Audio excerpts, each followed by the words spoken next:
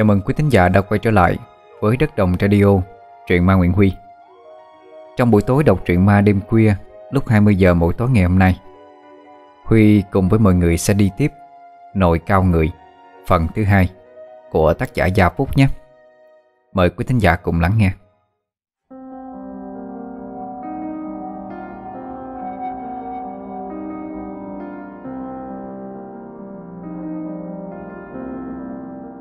Ngoài chỗ ao làng. Thằng Thắng Sẹo và bắt chột, Được ông Chánh Cường sai người mang chăn chiếu ra ngoài đó, Để chúng nó nghỉ ngơi Mà canh cái nồi cao tinh tinh. Tối đó, Hai đứa ngồi quanh nồi cao Mà nói chuyện phím. À Mày biết không? Lúc chiều chúng nó tranh nhau đòi mua cao tinh tinh, Mà tao buồn cười quá. Cố nhịn mà không được, phì cười đến đó. Ừ Nói đến việc này tao mới nhớ à. Ngày mai mày đem tiền về trả cho ông Chánh đi. Chẳng mà bị mất á, là ốm đòn giọng Ở trong túi đi nè Còn lâu mới chơi được. Mày không phải lo.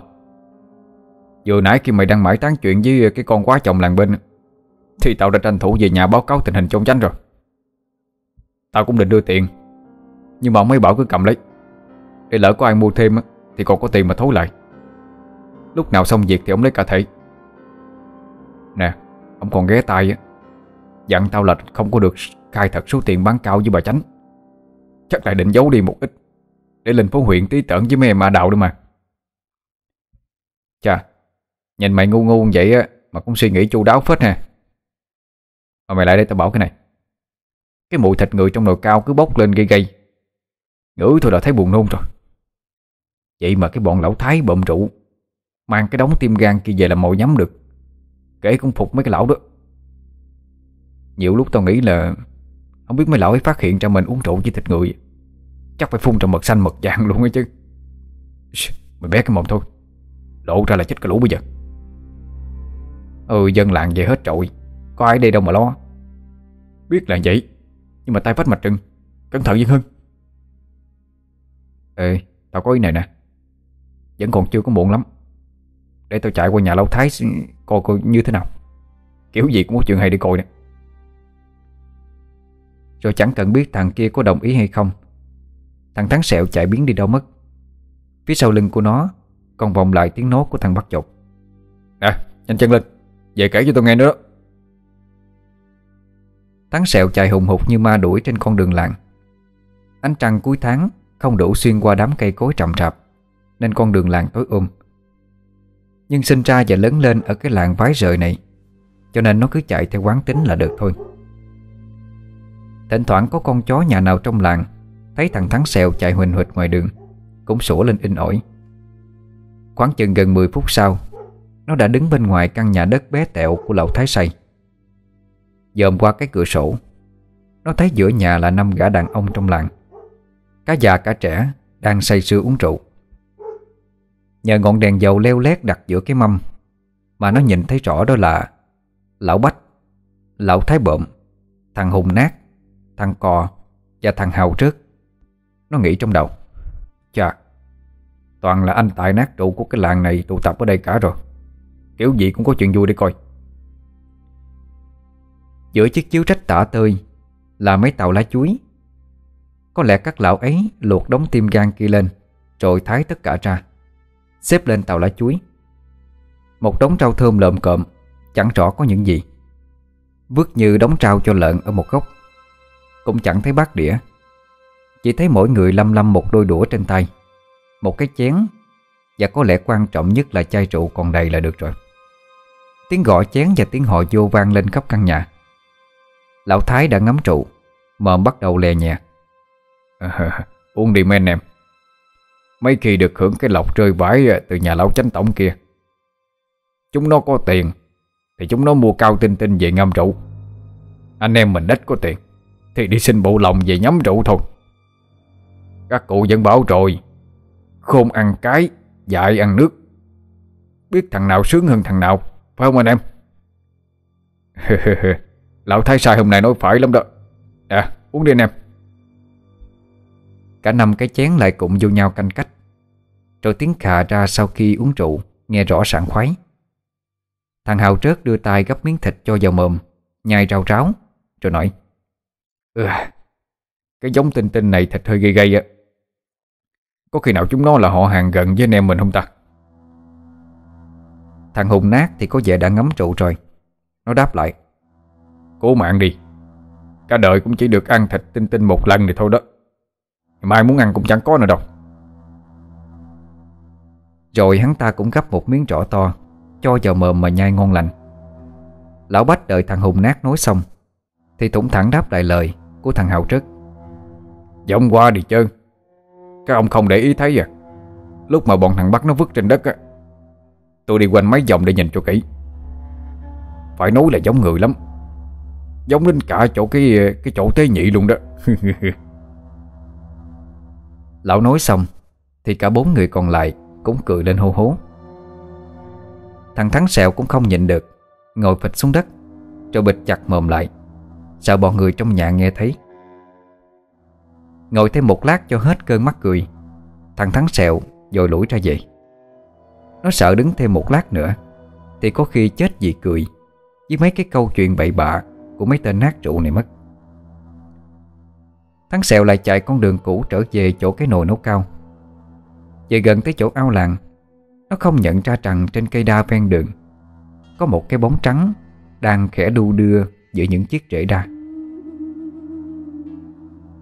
Vừa nghe thấy tiếng bước chân Thắng Sẹo đến gần. Thì cái bóng trắng kia nhảy xuống, Ôm chặt lấy người nó, Rồi cười lên mang dại Mấy con quạ đậu ở trên cây Cũng bị đánh thức mà kêu lên giáo giác. Nếu mà là người khác sau cú ôm đó, Đảm bảo sẽ đái ra quần Rồi ngất liệm đi. Thế nhưng đối với một thằng giết cười không ghê tai như thằng Thắng, Thì lại là chuyện khác. Sau một thoáng bị động, Rất nhanh, Nó đã lấy lại được bình tĩnh. Và nhận ra cái điệu cười mang dại kia là của con mận điên. Máu chó nổi lên. Thằng Thắng sẹo gỡ tay con mận điên ra. Rồi cứ thế đánh đơm đớp vào người nó, Vừa đánh vừa chửi rủa. Mẹ nó cái con điên này, Ông đánh chết mày. Dám bài trò võ ông hả? Chết mẹ mày đi. Trong bóng tối, Chẳng biết thằng Thắng Sẹo đánh trúng chỗ nào của mận điên. Chỉ nghe thấy những tiếng bơm bóp vang lên. Con này cũng chẳng gào khóc gì. Mà cứ cười lên mang dại Trong khung cảnh đêm tối mờ mịt, xen lẫn tiếng quà kêu, Làm cho tiếng cười con mận điên càng thêm ma mị, Rùng rợn. Thằng Thắng Sẹo giận lắm, Nó cứ đấm đá liên hồi. Một lúc sau đánh chán tay, Nó mới bỏ đi, Không quên chửi thêm một câu. Lần sau nhìn thấy mặt ông mày á, Thì tránh ra xa nha Bố cái con điện Một lát sau nó về tới chỗ thằng bắt chột. Thấy thằng bạn hầm hầm trở về Bắt chột nhăn nhở cười. cười Điên kìa Đi đâu lâu vậy? Mặt sao hầm hầm như vừa dẫm phải cước trâu vậy hả? Thắng sẹo thấy như vậy thì càng bực Nó nói như quát lên. Mày cười cái mẹ gì? Tao vừa từ chỗ cái đa gần đây nè Thì con mận điên nó lao từ trên cái, cái rễ đa xuống Nó ôm chặt lấy tao Rồi cười lên mang dại nữa. Điên tiếc quá tao mới đập cho một trận Chắc cũng lê lết ngoài kia rồi. Bắt chột cố tỏ ra nghiêm trọng. Rồi nói, Trời ơi, Chết mày rồi Thắng ơi. Em mận điên nó thích mày rồi, Cho nên mới chặn đường như vậy đó. Phen này nha Nó quyết tâm bắt mày về làm chồng của nó. Đêm nay mày phải cẩn thận đó. Tao ngủ say là không có biết gì đâu. Bố cái thằng điên, Ai mà thích nổ cái con dở người đó? Nó mà dám dắt sắc tới đây, Tao cho nó vô nồi nấu cao luôn. Bắt chột nghe tới vậy, Tự nhiên nó nảy ra một suy nghĩ thật táo bạo. Nó không cười nữa, Mà cầm chai rượu đưa về phía thằng Thắng. Ờ Nè, Mày hớp rượu cho tỉnh táo đi, Rồi tao bàn cho mày một việc.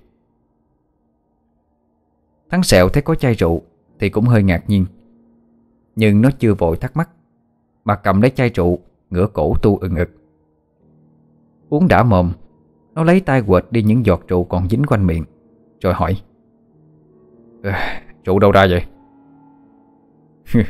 Chắc trời sập sập xuống rồi. Tự nhiên ông tránh lại sai thằng Lâm còi cầm ra cho tụi mình, Với một túi lạc răng nè. Nó hỏi, mày đâu? Tao phải nói dối là mày bị đau bụng.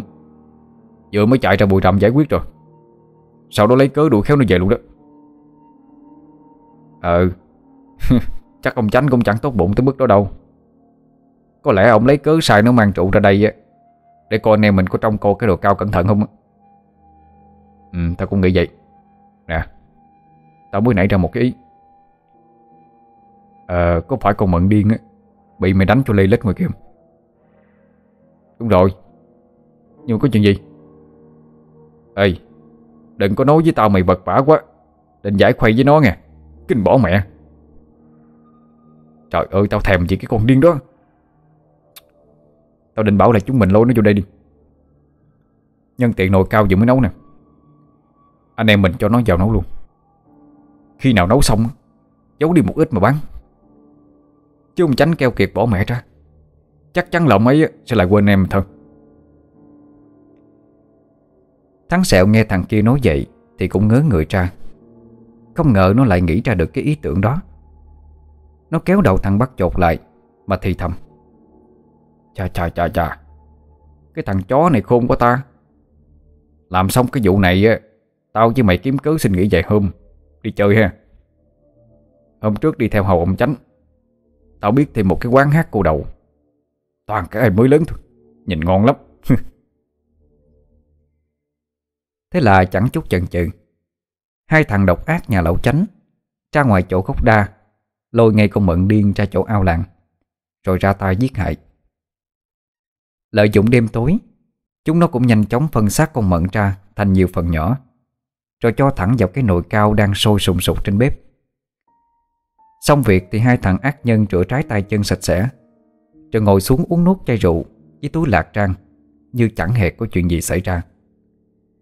Thậm chí thằng Thắng còn hào hứng kể lại những gì mà nó nghe thấy, Nhìn thấy ở nhà lão Thái Cho cái thằng bạn nghe. Thằng bắt chột cũng cứ há hốc mồm khi nghe câu chuyện. Rồi ôm bụng cười sặc sụa. Cứ thấy hai thằng ngồi uống rượu Với mấy hạt lạc trang Trong đêm khuya tĩnh mịch, Chỉ nghe thấy tiếng nói chuyện trì trầm của hai đứa chúng nó Và tiếng đàn cá giếng ao kéo đến, Ăn những miếng thịt thừa của con mận điên mà thôi. Đến quá nửa đêm, Chai rượu cũng đã hết. Thằng nào cũng ngà ngà say. Thằng sẹo muốn đi ngủ lắm rồi. Nó lấy cớ bảo thằng Bắc à, Chắc phải thay nhau á Mà trong nồi cao thôi. Tất cả với nhau như thế này thì mệt lắm. Đứng ba ngày ba đêm mà Chịu sầu nấu chứ. Bắt chột cũng gật gù. Ừ Mày tranh thủ ngủ trước đi. Tao trong nồi cao trước cho. Thắng sẹo nghe vậy thì mừng lắm. Nó nằm lăn ra cái chiếu mà ngủ luôn. Chỉ lát sau Nó đã ngáy khò khò lên. Bắt chột cũng ngồi dựa vào gốc cây gần đó cho đỡ mệt. Một lúc sau mắt nó cũng liêm diêm. Giữa đêm khuya thanh vắng, Một cơn gió lạnh ở đâu thổi tới, Làm cho những đốm lửa từ cái bếp củi Bay lên giữa không trung, Nhấp nháy đỏ lợm Như những con ma chơi Rồi lại nhanh chóng tắt liệm đi. Mắt thằng bắt chột Cũng bắt đầu díu lại vì cơn buồn ngủ. Nó phải cố gắng lắm mới căng được mắt lên Mà không ngủ tiếp đi.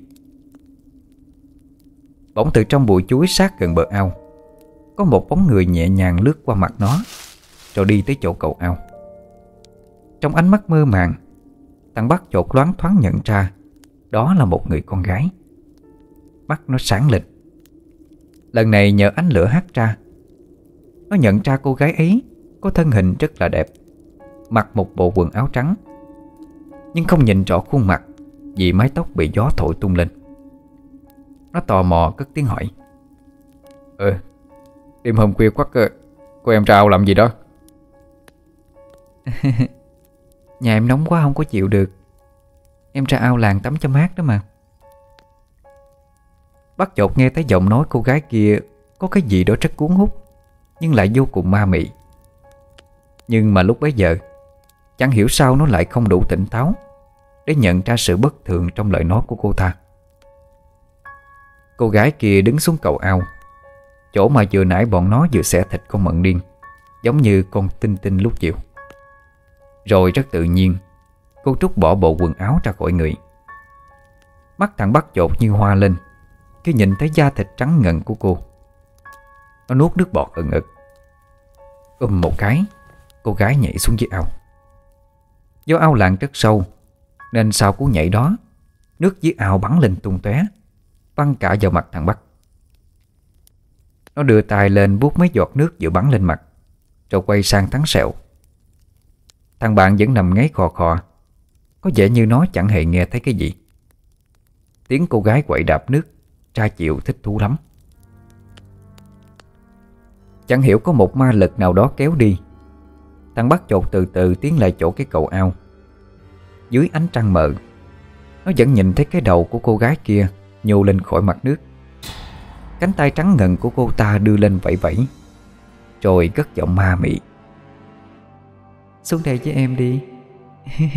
Nước mát lắm á. Tiếng cô ta vừa dứt lời Thì thằng bắt chột cũng chẳng chần chừ gì Mà nhảy tùm xuống nước. Nó bơi lại gần cô gái kia Định nhìn xem cô ta là con nhà ai Mà bạo dạng như vậy. Nhưng chỉ trong một chớp mắt Đã chẳng thấy cô ta đâu nữa Đột nhiên thằng Bắc thấy có một bàn tay lạnh buốt Kéo tuột nó xuống dưới mặt nước. Nó vùng vẫy mãi mới trồi lên được. Đang lầy hoầy lấy tay vuốt mặt Thì nó nghe tiếng cô gái kia hỏi nó. Anh thấy em có đẹp không? Thằng Bắc dù chẳng nhìn rõ mặt cô ta Vì trời quá tối Nhưng cũng không muốn làm mất lòng người đẹp Nên đáp lại ngay. Đẹp, đẹp lắm. Cô gái kia thích chí Cười khanh khách. Anh khen em đẹp thật á hả? Thích quá à. Thế thì Em bắt anh xuống dưới đáy ao Làm chồng em nha. Nói xong cô ta biến mất. Chỉ nghe thấy một tiếng cười ghê rợn vang lên khắp mặt ao. Thằng bắt chột chưa hết bàng hoàng Khi cô ta lại đột nhiên bất thình lình Biến mất ngay trước mặt mình rồi lại sợ hãi cứng người. Khi nghe cái giọng cười kinh hãi kia, Tự dưng nó thấy sợ. Nó định bơi vào bờ, Nhưng đã không kịp nữa rồi. Cả người thằng Bắc bị kéo tuột xuống dưới mặt nước như lần trước.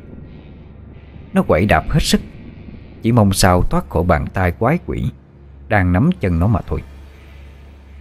Ấy thế nhưng mà sức của nó chẳng ăn thua. Miệng nó uống đầy nước, Rồi chìm dần đi. Trong lúc thằng bắt chột đang dãy dụa với ao, Thì thằng thắng sẹo bị tiếng la hét, Tiếng quậy nước đánh thức dậy. Nó nhìn ngó chẳng thấy thằng bạn đâu, Thì lại nghe thấy tiếng ú ớ phía dưới ao.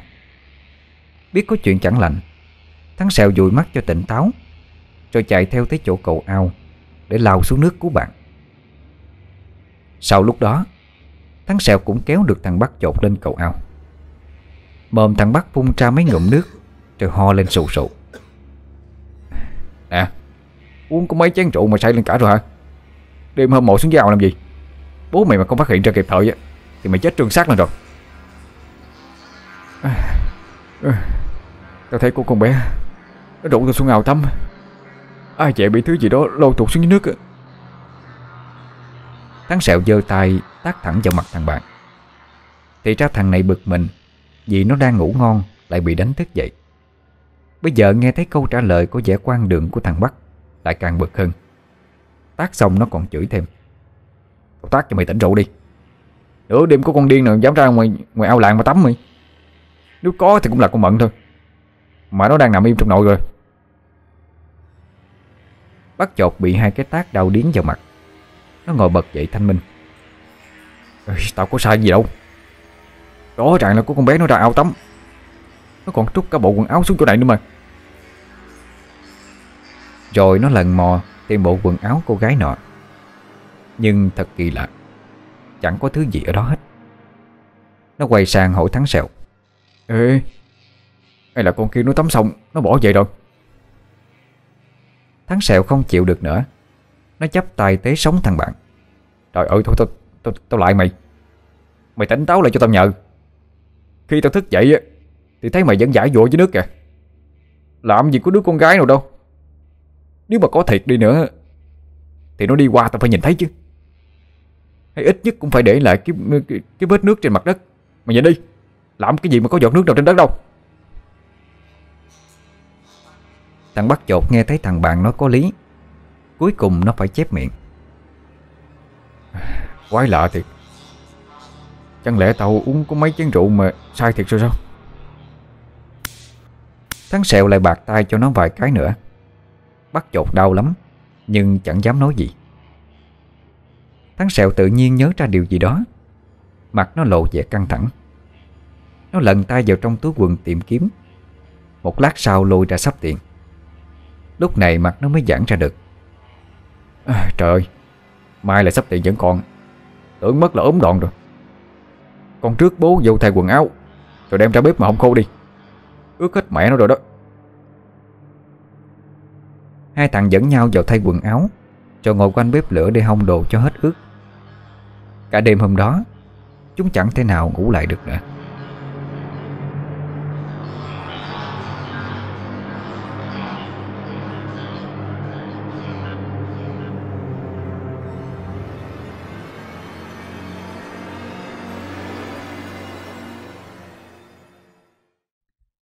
Ba ngày sau Trong gian phòng khách rộng lớn vang lên tiếng hai vợ chồng lão Cường Diêm Vương trò chuyện với nhau.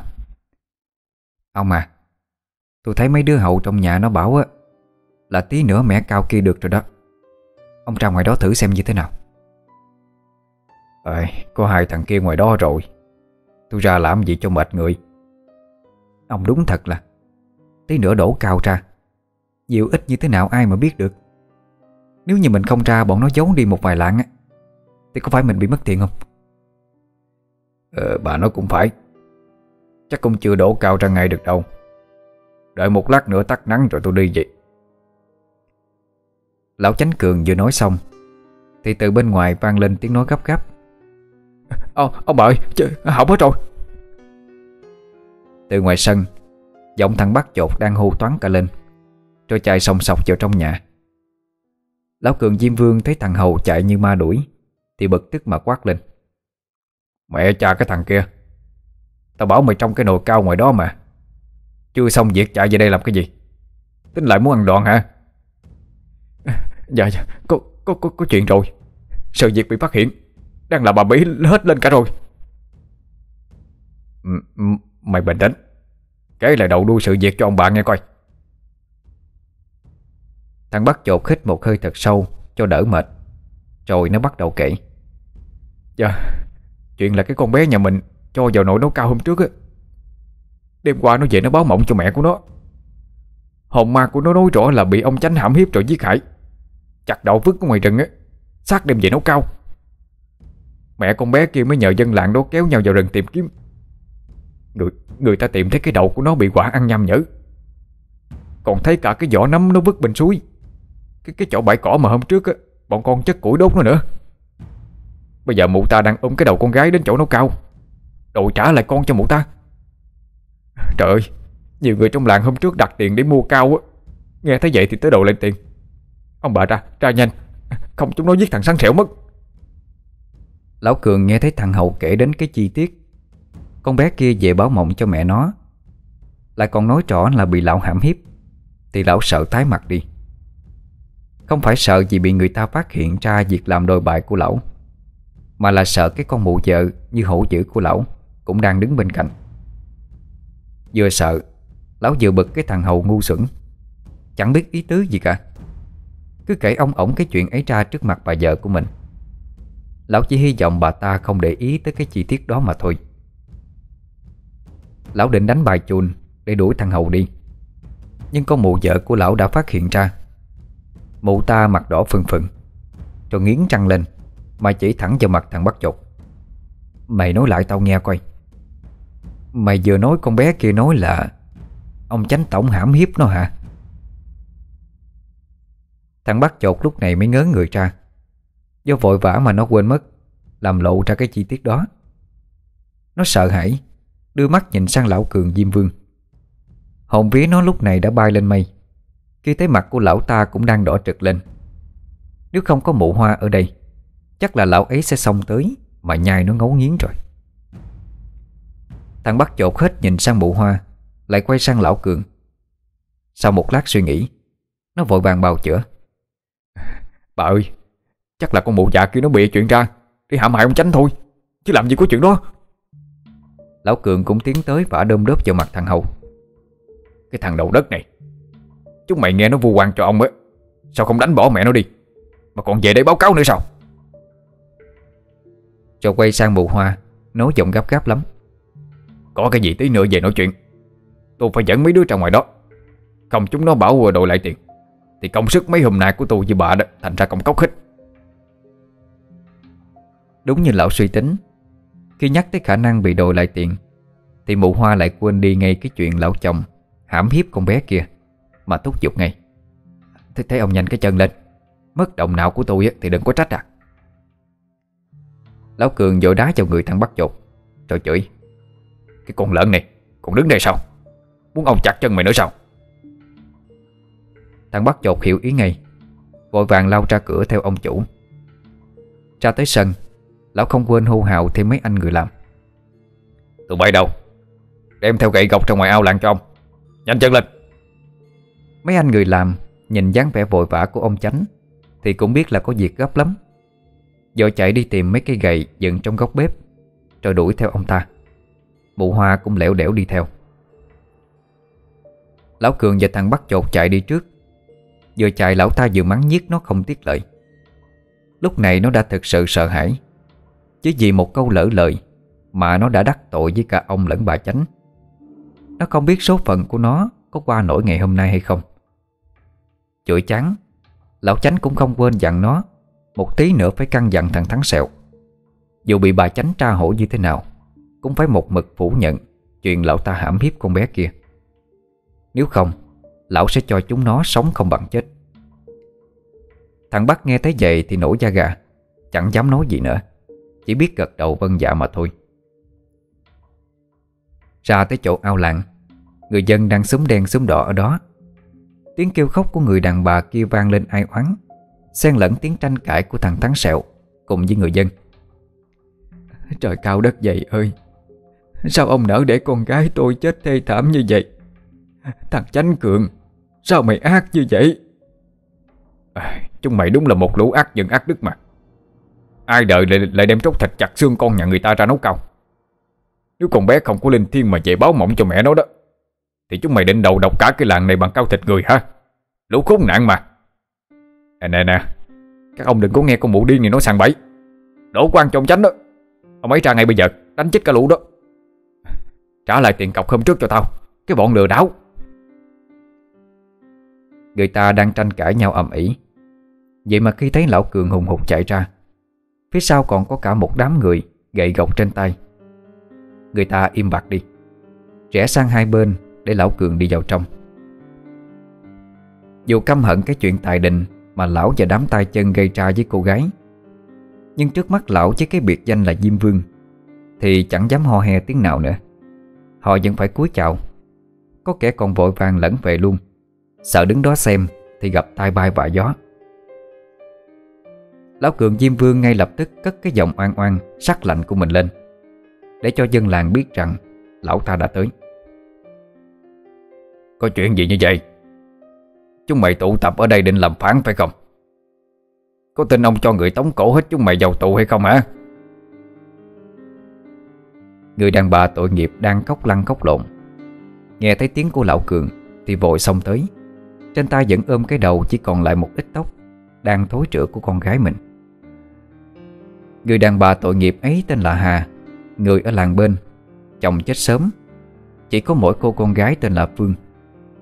Nỗi đau mất con quá lớn, Bà ta chẳng thiết sống nữa. Cũng chẳng biết sợ hãi là cái gì. Lao tới chỗ tránh tổng cường, Mà chỉ tay vào mặt lão quát lớn. Tiền sư cha thằng Cường, Mày còn ác hơn cả loại cầm thú, Trả con gái lại cho tao. Lão Cường cười khẩy, Đẩy mụ ta ngã nhào xuống đất, Rồi quát to. Đánh chết con mụ già này cho tao. Đánh chết mẹ nó đi. Dám phù quan cho ông sao? Vừa lúc ấy, Thằng Thắng Sẹo Thấy lão chánh cường và thằng Bắc tới giải vây, Thì mừng như bắt được vàng. Nó và thằng Bắc chột chẳng ngần ngại gì, Mà xong luôn đánh bà Hà không thương tiếc. Vừa đánh, Chúng nó vừa chửi rủa không tiếc lời. Bà Hà giống đã yếu đuối, Lại quá đau xót trước cái chết thê thảm của con, Nên chỉ sau vài cú đấm đá như trời giáng, Thì bà ta đã nằm bẹp dưới đất Mờ miệng tứa đầy máu ra. Bà chỉ cố gắng ôm lấy cái đầu của con Và dùng chút sức lực còn lại bà cất tiếng nói yếu ớt Để nguyện rủa lão cường Diêm Vương. Lũ quỷ dữ. Cô chết xuống âm phủ á. Mẹ con tao cũng sẽ quay về, Giết hết chúng mày. Lúc này mụ hoa Và mấy đám người hầu cũng ra tới nơi. Sẵn đang bực chuyện lão chồng dám ra ngoài ăn dụng Nghe thấy bà Hà đang ôm chặt cái đầu con gái mà nguyền rủa, Làm cho mụ ta tức tới ối máu ra. Mụ vừa thở hổn hển, Vừa gào lên. À Cái con bần hèn già nua chết tiệt này, Mày giỏi lắm, Dám nguyền rủa cả nhà bà. Chúng mày đâu, Đánh chết nó cho tao. Đám người hầu mới tới, Chưa kịp chạm vào người bà Hà, Thì thấy bà ấy đã bị hai thằng thắng sẹo Và bắt chột, Đá cho hai cú trời giáng nữa. Bà ấy phun ra một ngụm máu tươi rồi chết đi trong cơn tức tưởi. Đứng nghĩ thêm một chút, Mụ hoa lại chỉ tay vào cái xác bà Hà Đang nằm trên đất mà thách thức. Con già này, Bà truyền đời báo kiếp cho mày biết. Hôm nay bà cho người đánh chết mày đó. Rồi bà chống mắt lên mà xem, Mẹ con nhà mày làm gì được vợ chồng bà? Bà thách cả ba đời nhà chúng mày đó. Dân làng lại được một phen chứng kiến cơn thịnh nộ Của vợ chồng lão cường Diêm Vương. Trút lên đầu người đàn bà tội nghiệp. Tiếng của bà Hà yếu dần rồi im bặt đi. Cả đám đông lố nhố ở đó, Nhưng chẳng có ai dám thở mạnh. Chỉ còn vang lên những tiếng the thé của mụ hoa đang gạo thét. Thúc giục đám người hậu Tiếp tục đánh vào cái xác của bà Hà mà thôi. Trong lúc đám người hậu xông vào đánh bà Hà Lão Cường Diêm Vương đã nhanh mắt nhìn khắp lượt dân làng. Lão thấy từ già tới trẻ Mặt đứa nào đứa nấy xanh như đít nhái hết cả lên. Lão cười khẩy, Cái lũ dân đen này, Thì cứ phải cho nhìn thấy máu me mới biết sợ. Không thì chúng nó cũng bướng lắm. Trong đầu lại suy tính tới việc làm sao kiếm chác cho được Nhiều tiền nhất từ cái nội cao người kia. Đợi cho đám gia nhân đánh đấm chán chê sát bà Hà Để thị uy dân làng. Lúc này lão Cường mới quay sang thằng bắt chột. Chúng mày xem cái nồi cao tinh tinh được rồi á. Thì đổ ra. Ai trả tiền rồi Thì gọi người ta vào lấy đi. Người dân đứng quanh đó, Nghe lão Cường nhắc tới chuyện mua bán cao, Thì mặt mày xám hoét. Ai chẳng biết, Trong chiếc nồi đó là xác thịt của con bé Phương. Nhưng còn một bí mật Mà chỉ có hai thằng hậu của lão mới biết. Còn có thêm xác của một con mận điên nữa. Mấy người hầu nhà lão chánh thì nhanh chóng hò nhau bê cái nồi đồng xuống khỏi bếp, Để cho nguội. Rồi chờ lấy cao trong nồi ra. Lão Cường cố tình nói như thế Để đe dọa tinh thần của người dân thôi. Bây giờ chuyện vỡ lẽ ra rồi. Tất cả mọi người ai mà chẳng biết cái thứ trong chiếc nồi kia Là một con người bằng xương bằng thịt. Có tên tuổi hẳn hoi, Chứ đâu phải là một con tinh tinh. Bây giờ dù có cho không, Thậm chí cát thêm tiền, Thì dân làng cũng chẳng dám lấy. Ai lại bỏ tiền ra mua về làm cái gì nữa chứ? Chỉ khổ cho những người đã trót dại Hôm trước bỏ tiền trả trước cho chúng nó. Chính Lão Cường cũng biết điều đó, Nên mới nghĩ ra cái trò bẩn thỉu này Để cướp tiền của người dân mà thôi.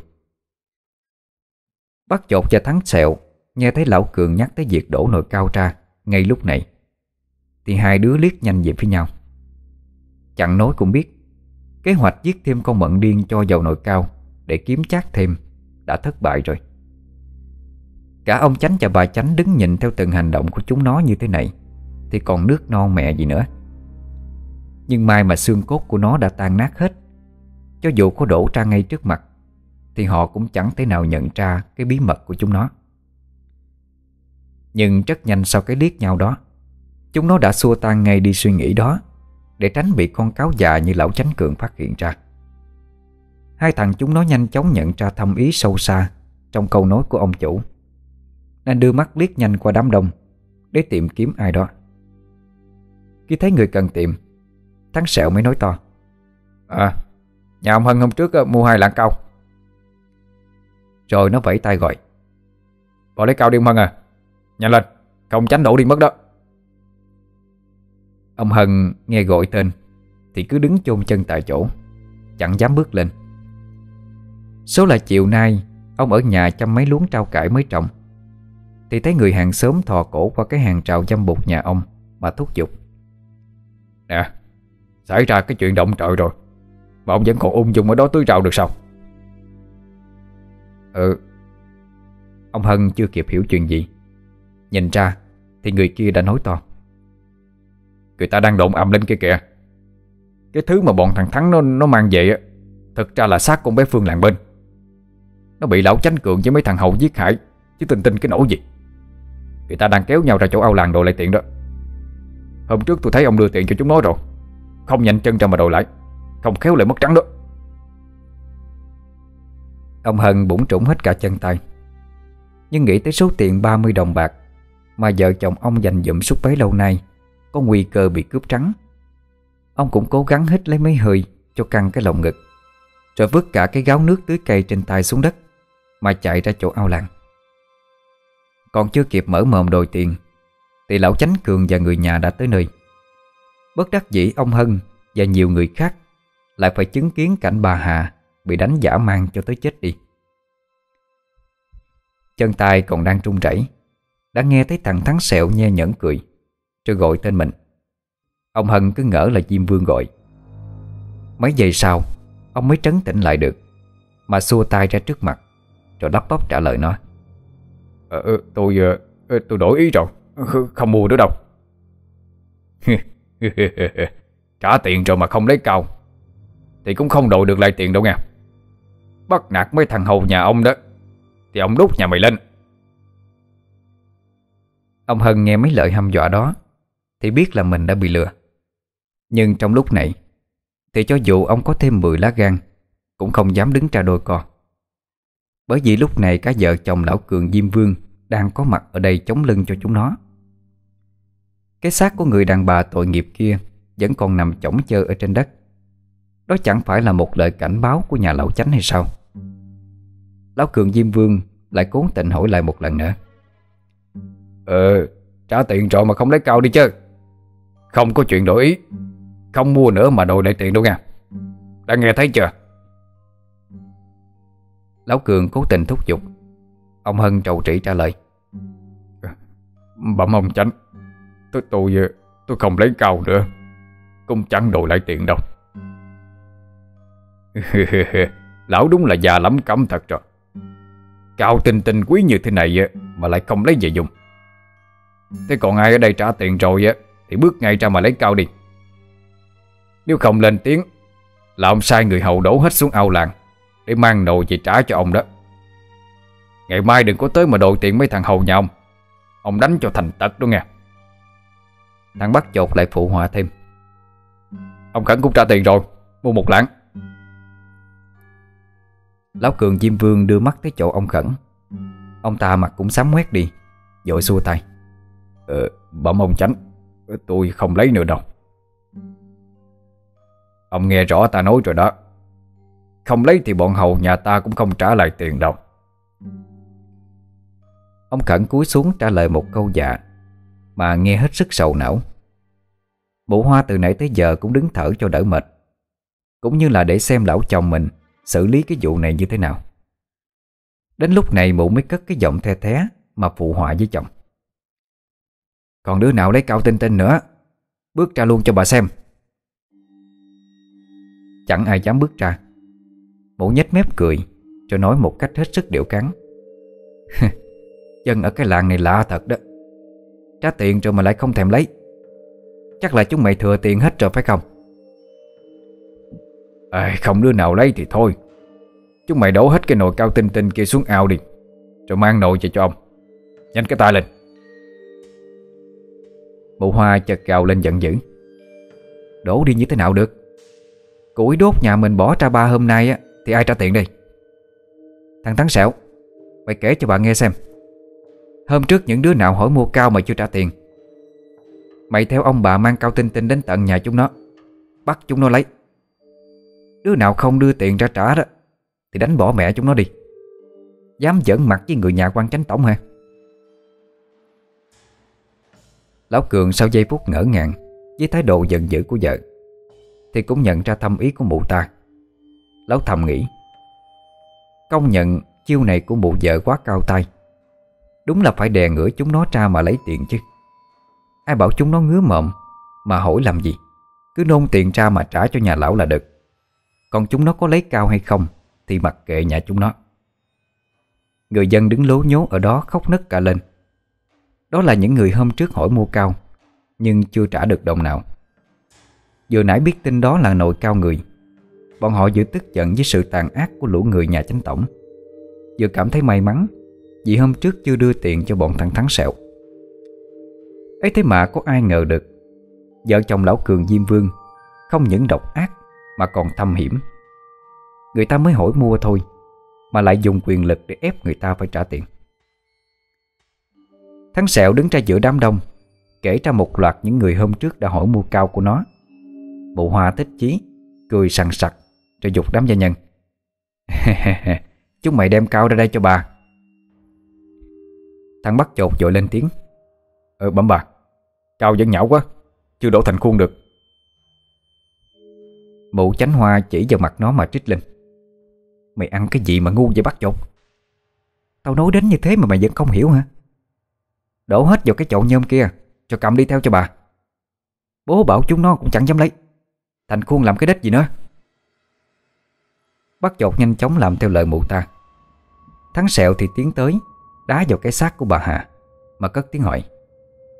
Ờ bẩm bà, Còn xác con mụ già này thì sao?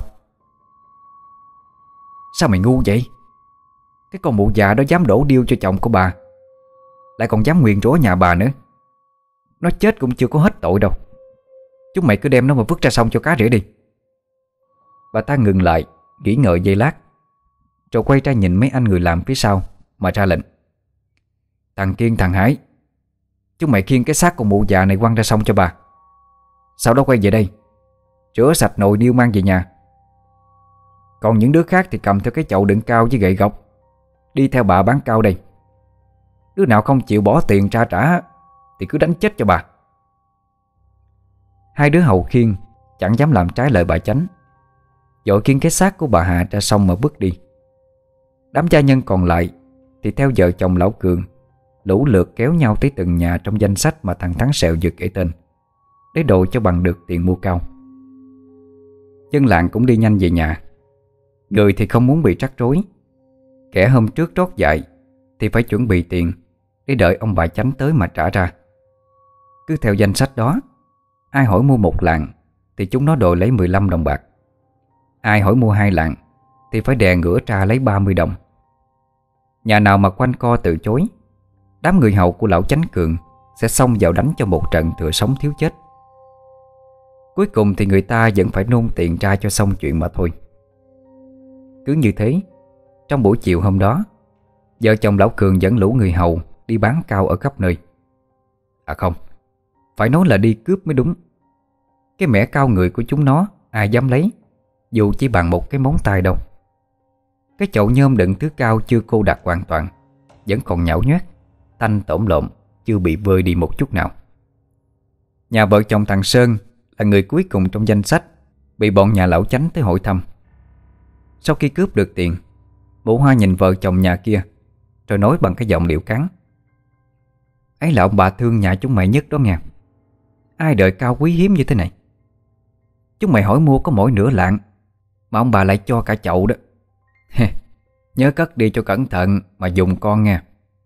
Cao tinh tinh tốt lắm đó. Trợ mụ ta cười lên sặc sụa, Hất hàm với thằng Thắng Sẹo. Mày còn chưa nghe thấy bà nói cái gì sao? Đem hết đống cao đổ xuống đất nhà nó đi. Nhớ giữ lại cái chậu cho bà. Lần sau còn lấy cái à, mà đựng cao tinh tinh quý hiếm nữa.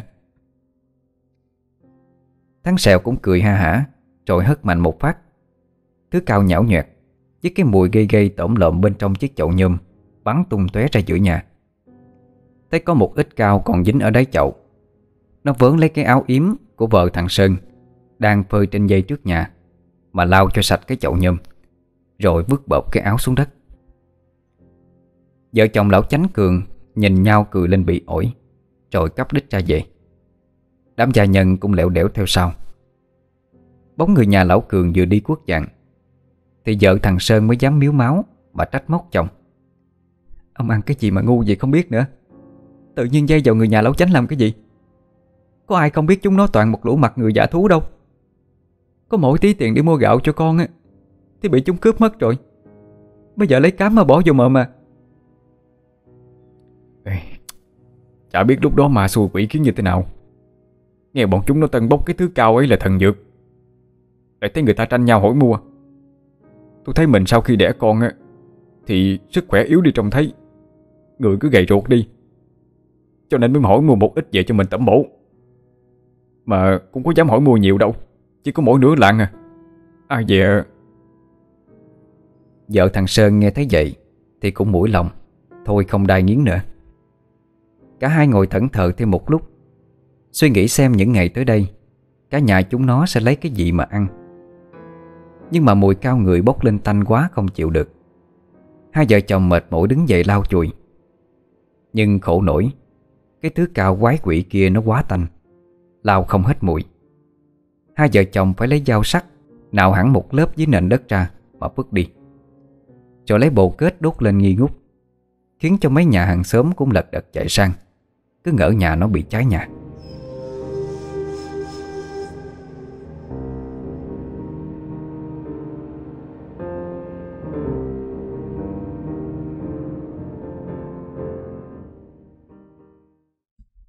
Một lúc sau Thì vợ chồng lão Cường Cũng đã kéo nhau về tới nhà. Mụ Hoa ngồi phịch xuống chiếc ghế giữa nhà Rồi cầm cái ấm nước tu lên ẩn ngực.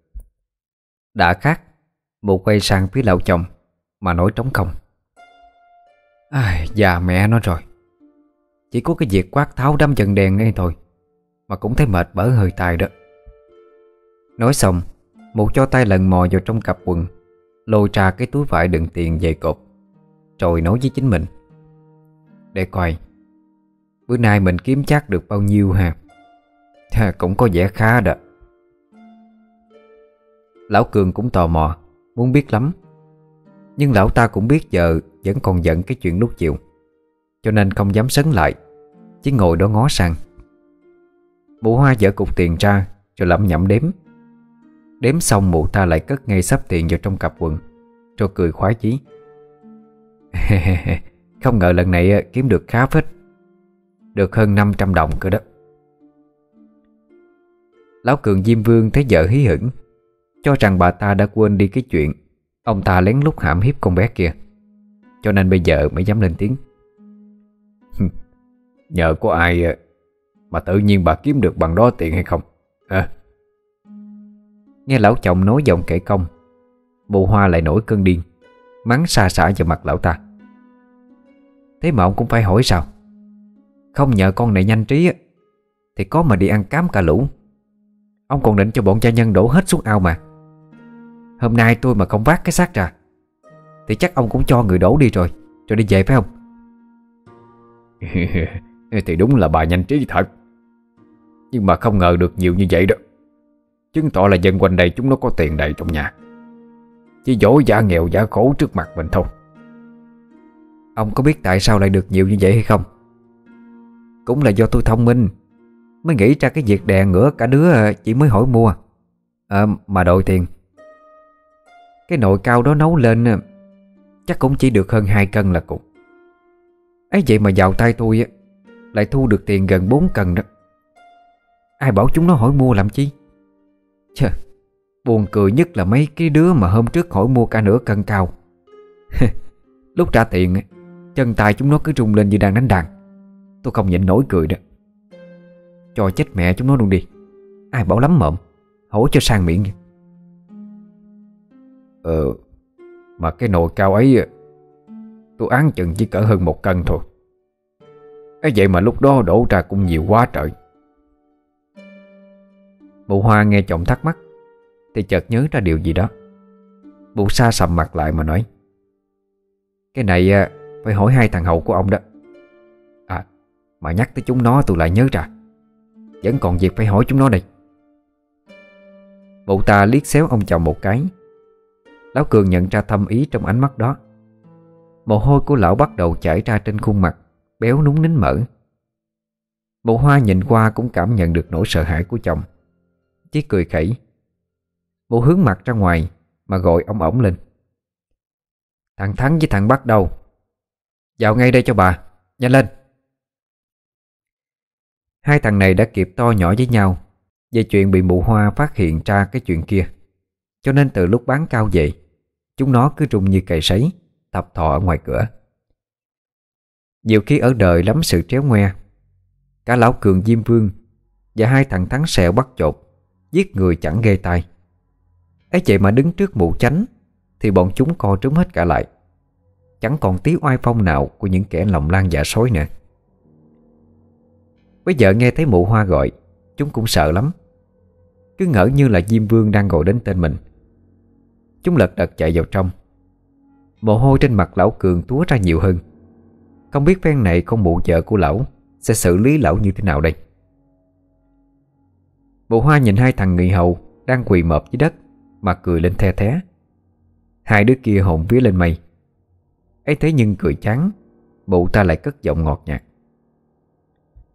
Thế thì tiền hôm trước chúng nó trả cho bọn mày đâu? Nôn hết ra đây cho bà. Hai thằng thấy mụ hoa chưa nhắc gì tới cái chuyện kia. Mà chỉ hỏi tiền Thì mừng quá. Thằng Thắng xèo dội cho tay vào túi quần, Móc ra bọc tiền, Rồi nhanh đưa cho mụ hoa. Ờ bấm bạc tiền nè. Bộ hoa nhanh tay lấy số tiền cầm lên mà đếm. Mụ cố tình đếm đi đếm lại vài lần Rồi mới hỏi Ủa sao chỉ có ngần này? Chúng mày lại giấu tiền của bà đi rồi phải không? Hai thằng thấy mụ hoa nghi ngờ Thì đồng loạt đứng dậy Kéo cả hai túi ống quần trống rỗng ra trước mặt Rồi thanh minh ờ, Ông bà sâu xét Cô đánh chết chúng còn Cũng chẳng có dám động tới một đồng một cắt của ông bà nữa. Mụ hoa đút tiền vào túi Rồi gật gù. Ừ cũng phải. Có cho chúng mày ăn gan hùm á, Cũng chẳng dám lấy cắp một đồng của nhà bà đâu. Ấy nhưng mà bà còn một chuyện nữa muốn hỏi chúng mày nè. Nói tới đây Bụ ta chợt dừng lại, Nhìn sang ông chồng. Mặt lão cường lộ rõ vẻ căng thẳng. Lão ta cố gắng tránh ánh mắt sôi mối của vợ. Bụ ta lại cười khẩy rồi đột nhiên thay đổi thái độ, Gào lên như điên dại. Thế còn cái chuyện con kia bị hiếp thì sao? Nói thật không bà cắt cân đó. Mụ ta gào lên, làm cho con chó thần chết ở ngoài sân cứ tưởng có chuyện gì xảy ra trong nhà. Nó sủa lên ầm ĩ. Hai thằng kia và cả lão cường Cũng sợ tím tái cả người đi. Biết sớm muộn gì cũng bị truy hỏi cái chuyện này, Nên chúng nó đã bàn tính trước với nhau. Một mực phủ nhận Thì mai ra mới có cơ hội sống sót được. Chúng thành minh ngay. Dạ bẩm bà. Đúng là cái con kia nó chui đầu vào bẫy. Chúng con không có nói dối bà dù chỉ nửa câu đâu. Mụ hoa mặt đỏ bừng bừng Lao tới vả tới tấp vào mặt của hai thằng hậu. Tụi nó đang nghĩ trong đầu. Cái thân phận chó săn của chúng nó Nhiều lúc cũng vênh váo thật đó.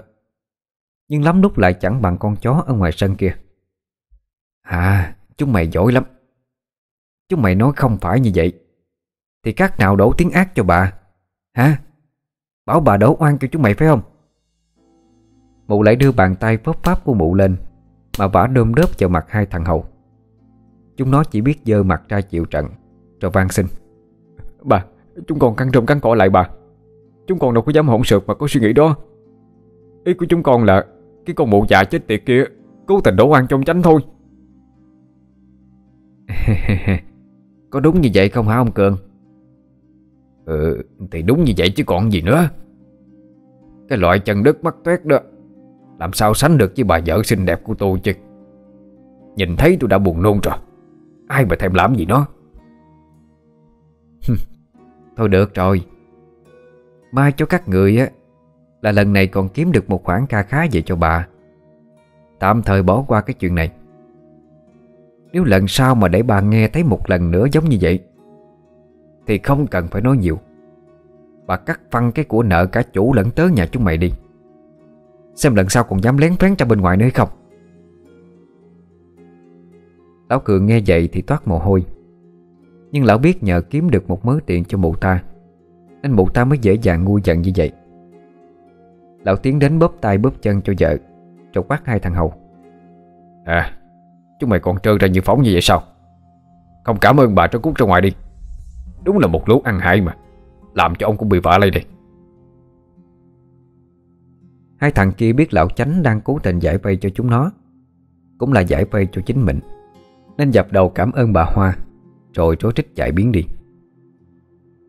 Khi hai thằng kia vừa cúp đuôi chạy mất, Thì thằng Túc cũng đi chơi vậy. Nó nhìn thấy lão Cường đang đắm bóp cho mẹ, Biết ngay là lão ta Vừa làm cái gì đó chọc tức mụ. Cho nên cố tình cười nhăn nhở, Còn trêu chọc thêm. Tình cảm quá ha Chắc là bố lại làm cái gì có lỗi với mẹ. Cho nên là giỡn trò nên đầm, phải không? Cậu chẳng về sớm mà xem. Cả cái tổng này náo loạn lên. Cũng chỉ vì cái tên bố cậu hiếp dâm cái con chết tiệt kia đó. Thật ra trước khi về nhà, Thằng Túc đã nghe người ta nói nhưng nó vẫn tỏ ra ngạc nhiên. Ừ, cái con nào? Thì cái đứa bị cho vào cái nồi nấu cao hôm trước Chứ còn đứa nào nữa? Nó cố tình trêu mụ hoa Nói giọng tỉnh bờ. Trời ơi Thì mẹ thỉnh thoảng cũng phải cho bố xả hơi chút chứ. Người ta còn năm thêm bảy tiếp cơ mà. Bố thì ờ... Đúng như suy nghĩ của thằng Túc Sau câu nói của nó Mụ hoa hất tay lão cường ra Rồi bật khóc tu tu. Khuôn mặt to bè ngấn mở của mụ Trung lên bần bật. Mụ nói trong nước mắt. Bây giờ thì rõ rồi đó. Bố con các người hùa vào nhau Để bắt nạt tôi. Thế thì tôi sống làm cái gì nữa? Chết quách đi cho rồi. À Mày im cái miệng mày lại đi. Không kéo ra sân ngủ cả lũ bây giờ đó. Thằng Túc chẳng thèm để ý tới lời bố mẹ nói. Nó vẫn cứ cười ngặt nghẽo lên. Một lát sau nó nhận thấy mẹ nó đã tức giận thật sự. Nó tiến tới bên mụ Bóp vào cái túi đựng tiền dày cộp Lồi hẳn lên trên Mà hỏi trống không. Ồ, nhiều tiền vậy? Chắc là kiếm được từ vụ đó đó hả? Nghe nói tới tiền Mụ hoa nín khóc ngay. Mụ lấy tay quệt cho sạch nước mắt Rồi mới nói Thì cũng được có mấy trăm đồng thôi Nhưng mà cũng nhờ tao nhanh trí mới kiếm được đó. Chứ vào tay bố mày à, Chắc chỉ kiếm được vài đồng lẻ. Rồi mụ hào hứng kể cho con trai nghe Về cái thành tích của mình. Kể xong, Bố ta cười rung cả người. Bố con lão chánh cũng phải cười theo. Tối hôm đó, Lão Cường sai thằng Hoàng nấu một bữa ăn vô cùng thịnh soạn, Để cả nhà chúng nó ăn mừng, Vì cướp được rất nhiều tiền Từ việc bán cao người. Cả nhà ăn uống no say rồi kéo nhau về phòng riêng. Chắc chẳng ai trong nhà Lão Cường ngờ được rằng Sao biết bao nhiêu năm tháng gây nghiệp ác, Bây giờ đã đến lúc Cả nhà chúng nó Và hai tên hậu ác nhân kia Sẽ phải trả nghiệp, Lần lượt từng đứa một. Nửa đêm hôm ấy, Đám người hầu nhà lão cường Sau khi đã làm xong mọi việc Thì cũng mệt mỏi leo lên giường đi ngủ. Trong căn buồng của thằng Bắc và thằng Thắng Cũng đã vang lên tiếng ngáy vang trền của hai chúng nó. Hai thằng này là cánh tay phải đắc lực của lão cường, Nên được lão ưu ái xếp cho ở một căn buồng nhỏ riêng biệt, Để tiện cho lão sai bảo đi làm những việc mờ ám. Cả căn nhà trọng lớn của lão cường Lúc này đã chìm trong yên ắng. Chỉ còn tiếng con chim lợn đậu trên mấy cành cây to bên ngoài vườn, Thỉnh thoảng kêu lên mấy tiếng en ét. Bỗng nhiên từ chỗ bụi tre cuối vườn Xuất hiện ra hai cái bóng. Ánh trăng thượng tuần chiếu trội một thứ ánh sáng vàng vọt lên khắp khu vườn, Càng làm cho không gian ngoài vườn thêm phần trùng trận Ma quái. Hai cái bóng ấy Nhìn thì mờ mờ ảo ảo, Giống như một làn sương khói Đang bao phủ lấy vậy. Ấy thế nhưng đôi mắt của họ Thì đỏ trực như máu, Đưa ánh mắt căm hận Nhìn về phía mấy dãy nhà của lão cường Diêm Vương. Hai cái bóng người đó Tôi chẳng nhìn rõ mặt, Nhưng qua hình dáng hư ảo Cũng đủ để nhận ra Là một già một trẻ. Chẳng hiểu có chuyện gì Mà họ cất tiếng tranh cãi với nhau. Để mẹ giết nó trước. Thôi, Mẹ nhường cho con đi. Con bị chúng nó giết tê thảm hơn. Thế thôi vậy. Con chết trẻ khỏe mà. Mẹ nhường cho đó. Dầu lôi cổ chúng nó ra đây. Không việc gì phải dội mẹ. Mẹ con mình sẽ giết từng đứa một. Để cho những kẻ còn lại Phải sống trong sợ hãi. Chơi như vậy mới vui chứ. Dứt lời, Một tràng cười vang lên nghe vô cùng quỷ dị. Cười chán. Cả hai cái bóng lại đột nhiên biến mất bí ẩn, Như khi chúng xuất hiện ra vậy Chỉ một giây sau, Cánh cửa tre ở căn buồng của thằng Thắng Sẹo Và thằng Bắt Chột đang ngủ, Bỗng nhiên từ từ mở ra. Tiếng kêu có két nghe rợn cả người. Một cái bóng trắng ở đâu Lướt nhanh vào bên trong. Chỉ trong một giây lát, Xuất hiện bóng dáng của một người con gái. Mái tóc của cô ta che kín khuôn mặt. Chỉ có mỗi chiếc áo Dường như bị ai đó xé rách đi, Đang lộ ra bầu ngực trắng ngẩn. Cô ta nở một nụ cười quỷ dị, Nhìn chầm chầm vào hai kẻ đang ngủ lăn lóc trên giường, Mà kẻ trích lên. Đến lúc trò chơi bắt đầu rồi Dậy đi thôi. Nói xong cái bóng ấy lướt tới chỗ cái giường của hai thằng kia. Lúc này không gian trong căn phòng trở nên ma quái một cách bất thường. Thằng Thắng Sẹo đang ngủ mê mệt. Thì thấy có bàn tay lạnh ngắt của ai đó, Lây lây vào vai. Nó giật mình mở mắt ra. Qua ánh sáng lờ mờ của ánh trăng thượng tuần, Hắt qua khe cửa sổ. Nó nhìn thấy một cô gái đang lay vào vai của nó. Thấy nó mở mắt. Cô ta khẽ giơ tay lên miệng. Tra dấu cho nó yên lặng. Rồi ghé sát vào tai nó Mà cất cái giọng ngọt ngào. Muốn có được em Thì đi theo em, Nhanh lên. Thắng sẹo sau giây phút ngạc nhiên Thì nó cũng chết trân Nhìn vào bầu ngực trắng ngận kia, Đang lấp ló sau tà áo trách của cô gái. Nó nghĩ thầm trong đầu. Chắc là con người hầu nào mới vào đây làm. Lại trót thích nó. Cho nên nửa đêm mới lén chào kêu gợi đây. Nó đã cất công mò tới tận giường mời mình. Mình mà không sơi, Nó lại chửi mình là thằng ngu thì sao? Thắng sẹo nhìn sang phía bên cạnh, Xem bắt chột có phát hiện ra việc này hay không. Nhưng mà cái thằng này vẫn đang ngáy khò khò như con lợn. Thắng sẹo thấy yên tâm. Không để lỡ cơ hội ngàn năm có một, Thằng Thắng nhẹ nhàng bò dậy. Cô gái kia cũng nhanh chóng chạy ra ngoài khu vườn, Phía sau nhà lão chánh. Thắng sẹo vội vàng đuổi theo. Ánh trăng thượng tuần vàng vọt, Không đủ sáng để cho thằng Thắng sẹo nhận ra. Cô gái đang cố tình kêu gợi nó là đứa nào, Nên lại càng tò mò hơn, Tra sức mà đuổi theo. Đi tới chỗ gần khóm tre cuối vườn, Thằng Thắng sẹo cũng đã đuổi kịp. Nó đè ngửa cô gái kia xuống đất. Định bụng sẽ vén mái tóc lòa xòa Đang che kín mặt kia ra Để nhìn xem nó là đứa nào. Ấy thế nhưng Cái vừa đè cái thân hình hộ pháp của hắn ta Lên người cô gái. Thì hắn giật bắn mình Khi nhận ra người cô ta lạnh toát như băng. Hắn sẹo ngồi dậy Lùi ra xa một chút Rồi lắp bắp hỏi Em, em làm sao mà lạnh như xác chết vậy Thì cũng tại anh hết đó. Em phải đứng ngoài trời mấy canh giờ Đợi cho mọi người đi ngủ hết Mới dám lén cho gặp anh đó. Thắng sẹo nghe cô gái nói như vậy Thì có phần yên tâm hơn. Ờ Em là ai vậy? Sao nửa đêm Dám một mình lén vào nhà ông chánh? Không sợ chó cắn chết sao? Cô gái lại cười lên khách khách. Thắng sẹo nghe tiếng cười này thấy quen lắm Nhưng trong giây phút lãng mạn này Tâm trí đâu để cho nó đủ tỉnh táo mà suy nghĩ. Nó chỉ mơ hồ nhận ra Ở trong khung cảnh âm u của khu vườn nhà lão chánh Thì giọng nói này Có cái gì đó vô cùng ma mị. Cô gái lại hướng về phía nó mà nói Em là ai hả? Sao anh không thử tới mà nhìn đi? Nói xong Cô gái kia co chân chạy đi Chiếc áo trách trên người cô ta Sau cú đè vừa nãy của thằng Thắng, Lại trách thêm một mảng nữa. Cái cơ thể mỹ miều của cô gái trẻ càng hấp dẫn hơn, Làm cho thằng Thắng nuốt nước bọt ở ngực Nó lao theo cô ta. Chẳng có khăn gì.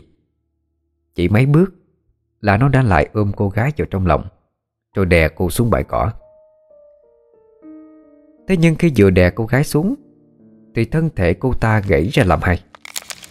Cái người với thân hình nuột nà Thì đang bị thằng Thắng ôm chặt lấy. Còn cái đầu thì lăn lông lóc sang một bên. Thắng sẹo kinh hãi, Người nó cứng đơ, Cứ ôm chặt lấy cái thân hình lạnh như băng của cô gái. Trong phút chốc, Cái đầu của cô ta từ từ tiến lại, Dí sát vào mặt Thắng sẹo. Giọng nói ma mị lại cất lên. Anh hư thật đó. Thấy em đẹp quá hay sao Mà cứ ôm chặt lấy người em vậy? Lúc này Thắng sẹo đã kinh hãi lắm rồi, Nhưng nó chẳng thể cử động được. Nó muốn nhắm chặt mắt Để khỏi phải nhìn cái đầu ma quái kia, Nhưng cũng chẳng thể nhắm nổi. Cái đầu kia hất tung cái mái tóc dày, Che kín khuôn mặt ra. Và đúng lúc đó thì trên bầu trời Có một ánh chớp lóe lên. Thắng sẹo thấy rõ ràng mọi thứ như ban ngày. Thật sự là hải hùng. Nó nhìn thấy rõ đó là cái khuôn mặt bị đánh bầm dập. Hai con người lồi hẳn ra khỏi hốc mắt. Chẳng cần nói Nó đã nhận ra đó là khuôn mặt của ai. Chỉ duy nhất cái mộm của thắng sẹo Còn cử động được. Hắn lắp bắp. Là, là, là, là mày.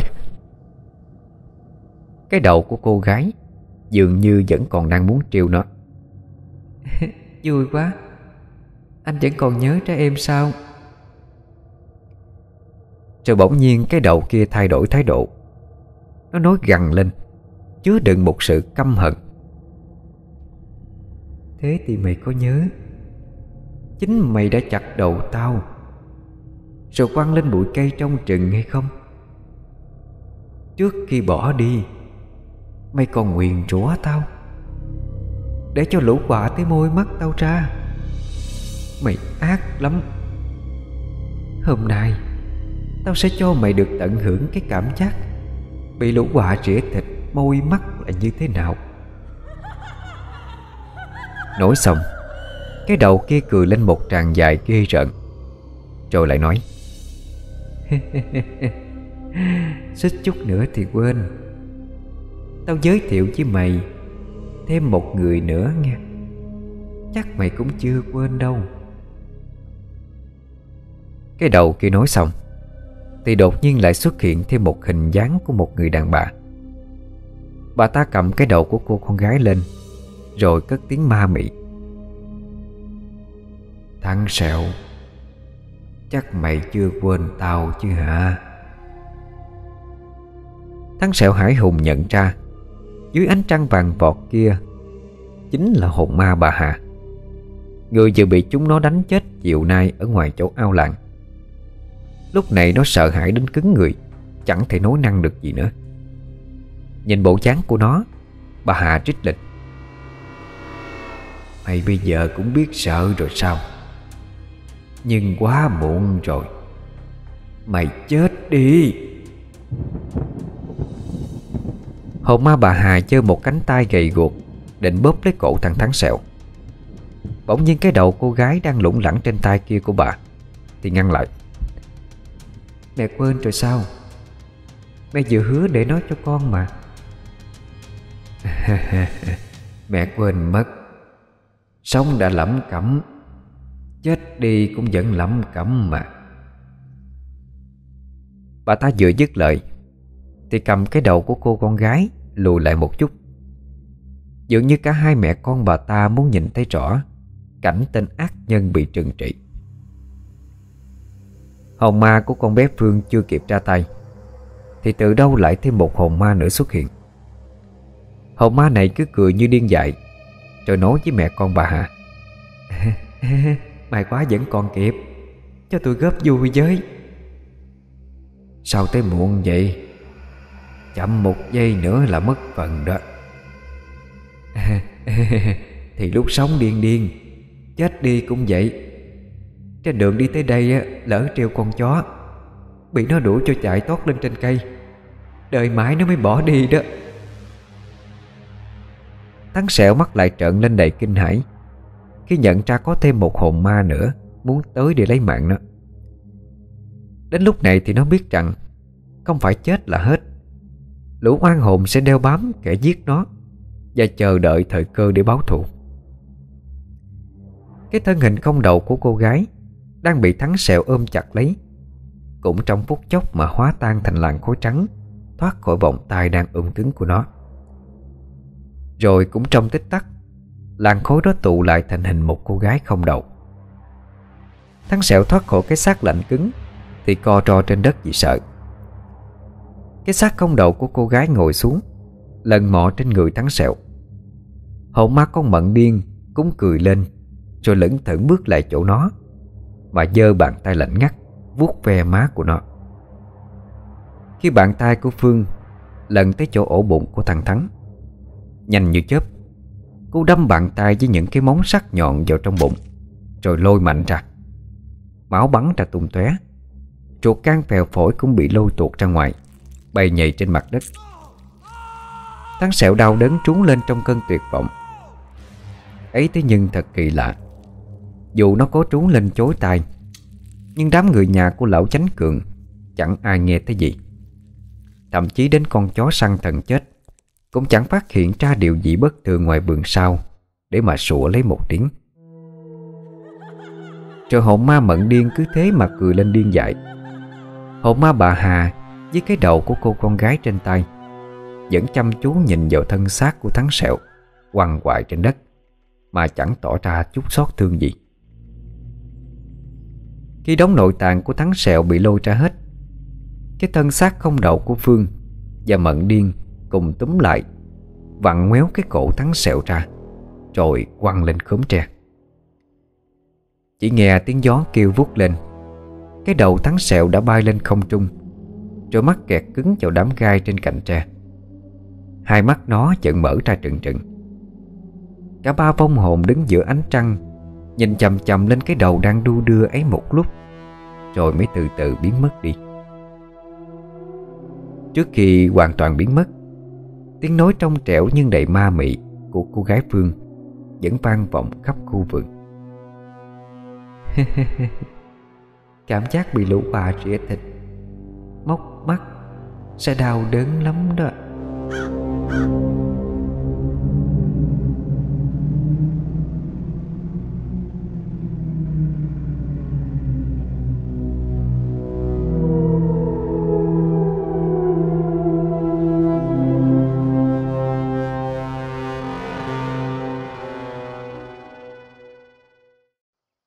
Sáng sớm hôm sau, Ông Mười dậy để cho lợn ăn.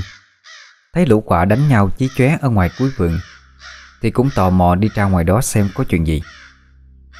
Ra tới nơi Ông Mười kinh sợ. Hai hàm trăng va vào nhau lập cập, Khi lần đầu tiên chứng kiến một cảnh vô cùng kinh dị hải hùng. Trên cành tre là một cái đầu của ai đó, Bị lũ quạ tranh nhau trĩa thịt. Dưới bãi cỏ là một cái xác bị môi bụng ra Chuột can lòng thòng. Lũ quạ cũng đang bâu kính đen ở trong đó. Cố gắng lắm ông Mười mới nhấc nổi đôi chân Để chạy được về tới chỗ phòng ngủ của đám người hầu. Miệng ông ta ú ớ Mãi mới thành câu. Có, có, có, có người chết kinh lắm. Thằng bác chột nghe ông Mười nói Thì nó cũng nhào dậy mà phi ra ngoài. Mấy người khác cũng xúm lại chỗ ông Mười Cố gắng hỏi thêm. Nhưng ông cũng chẳng nói thêm được gì Do quá trung sợ. Chỉ biết đưa tay chỉ về phía khóm tre nơi cuối vườn Đám người làm trong đó có cả thằng bắt chột cũng hiểu ý, Chạy ra ngoài vườn theo hướng ông chỉ. Chẳng khó khăn gì để nhận ra chỗ thằng Thắng Sẹo bị giết. Vì đám quạ đang súng đen lại Mà tranh nhau ăn xác. Có con quạ còn lôi được đoạn ruột của nó lên cây tre mà ăn. Đoạn ruột lòng thòng như con trắng uốn éo trên đó, Nhìn tới phát khiếp. Đám người hầu ai cũng kinh hãi. Có người còn nôn thốc nôn tháo. Khi nhìn thấy đống ruột gan bầy nhầy đang bốc mùi hôi thối trên đất. Duy chỉ có thằng bắt chột, gan dạ hơn cả. Bịt mũi tiến lại gần chỗ cái xác trên đất. Chẳng hiểu sao từ sáng sớm tới giờ, Nó cứ có cảm giác gì đó rất bất an, Không thể diễn tả được. Nó đuổi lũ quạ đi. Nó nhìn chầm chầm vào cái xác đang bị quạ ăn nham nhở. Còn có cả đống dồi bò đang ngoe ngoẩy trong đó. Và nó bàng hoàng nhận ra đó là bộ quần áo mà thằng Thắng Sẹo mặc tối hôm qua. Nó lại hướng mắt lên bụi tre Nhìn vào cái đầu lâu bị ăn nham nhở hết thịt Chỉ còn lại cái sọ trắng hiếu Và một nhúm tóc mà thôi. Nó quay qua về phía đám người kia Hỏi lại như muốn xác nhận. Từ, từ sáng tới giờ Có ai thấy thằng Thắng Sẹo đâu không? Ai nấy cũng đều lắc đầu. Thằng Lâm còi hỏi lại. Ủa không phải anh Thắng ngủ cùng Danh hay sao? Bác chột chẳng thèm trả lời lại. Nó chạy như ba vào nhà báo cho vợ chồng chánh cường. Bác chột đi khỏi. Đám người hầu mới dám to nhỏ với nhau. Trời Tại sao thằng bác chột nó lại hỏi tới thằng Thắng Sẹo ha Liệu có phải cái xác này là của nó không? Ừ, Nhìn bộ quần áo dính máu kia thì đúng rồi đó. Nhưng mà kẻ nào dám to gan vào tận nhà ông tránh đi giết người hầu thân cận của ông vậy trời. Ừ Chắc không phải là người đâu. Ra tay tàn ác như thế này á Thì chỉ có ma quỷ nó làm thôi. Chứ người mới chết Mà sao lại đã thối rửa dội bỏ thế kia? Chúng mày bé bé thôi Đến tại ông tránh là chết cả lũ đó. Mấy phút sau Thằng bắt chột đã chạy vào tới cửa phòng của ông bà chánh Mà đập cửa trầm trầm đang ngủ ngon mà bị phá giấc. Lão chánh cường mắt nhắm mắt mở đứng dậy ra mở cửa.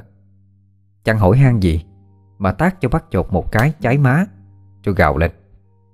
Ừ, Tổ sư cha nhà mày Không biết ông bà đang ngủ hay sao Mà mày đập cửa trầm trầm như vậy? Bầm bầm ngoài, ngoài giường có người chết ông ơi Đứa nào chết thì mặt mẹ nhà nó Liên quan gì tới ông mà mày sợ, sợ như vậy? Nhưng mà ông ơi nó, nó là thằng Thắng Sẹo đó. Lão Cường Diêm Vương vẫn còn đang ngái ngủ. Nhưng khi nghe thấy tin đó Thì trợn mắt lên mà hỏi lại. Ừ, Mày Mày chắc chứ? Con không có nhìn lầm được đâu. Bộ quần áo nó mặc hôm qua lúc đi ngủ Vẫn còn trên người.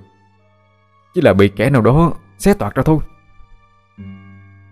Bắt chột dừng lại một lát Rồi ghé tay lão cường Diêm Vương Mà thì thầm. Liệu có phải là mẹ con mù già kia Về trả thù không Chứ đứa nào mà dám to gan vào tận nhà ông để giết người. Con ngủ bên cạnh á Mà cũng chẳng hay biết gì hết. Lão Cường nghe bắt chột nói vậy Thì lại điên tiết lên. Cốc vào đầu nó một cái. Mày theo ông bao nhiêu năm? Mà vẫn còn tin mấy cái thứ ma quỷ dơ dẫn đó sao? Chết là hết. Ma quỷ đách gì nữa? Rồi lão ta chỉ tay cho bắt chột đi ra vườn Đám người hầu thấy lão cường Diêm Vương đi ra, Thì kẻ nào cũng khúm núm mà chào. Lão nhìn cái xác trên mặt đất, Rồi lại nhìn lên cái đầu Bị lũ quạ ăn nhăm nhở trên cạnh tre, Mà nói một câu lạnh lùng. Chúng mày đem hết những thứ dơ bẩn này Dứt ra sông trong. Lão cũng chỉ tay vào mặt đám người hầu đứng đó Mà đe dọa. Ờ Thằng Thắng Sẹo á, Nó không may bị lũ khỉ hoang về làng, Mà giết hại thôi. Tao cấm chúng mày bếp xếp cái chuyện này ra ngoài. Đứa nào dám trái lời Tao giết đó. Nói xong Lão quay lưng đi vào nhà. Đám người hầu cũng vội đi lấy cái xào Để lôi cái đầu trên cây tre xuống Rồi cho tất cả mọi thứ còn sót lại Của thắng sẹo Vào một cái bao Đem ra sông mà quăng bỏ. Lão Cường vừa vào tới nhà Mụ Hoa đã thò mặt ra hỏi ờ, Tôi loáng thoáng nghe đó Thầy bảo đứa nào chết hả? Thì thằng Thắng Sẹo chứ đứa nào? Chẳng hiểu thằng bố nhà nó đêm hôm mơ mò ra giường làm gì. Để bị khỉ vượng nó xé xác ra. Đúng là cái thằng ngu. Hay là nó lại lén phén với con nào? Đêm hôm dẫn nhau ra vườn hú hí Thì mới chết thảm như vậy chứ. Cho người ném mẹ xác nó ra xong đi, Cho rồi bỏ nó khỏi theo về nhà. Bà không cần phải nhắc. Tôi sai mấy thằng hậu ném đi rồi. Sau bữa ăn sáng, Hai vợ chồng sai thằng bắt chột Đánh xe ngựa đưa lên trên chợ huyện ăn uống, Mua sắm Đến tận tối mới về.